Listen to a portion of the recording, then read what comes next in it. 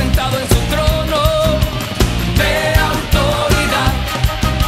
El fuerte cetro de su señorío sale desde Sion.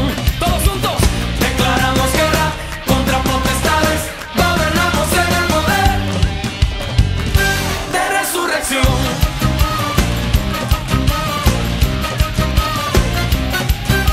Jesús está sentado en su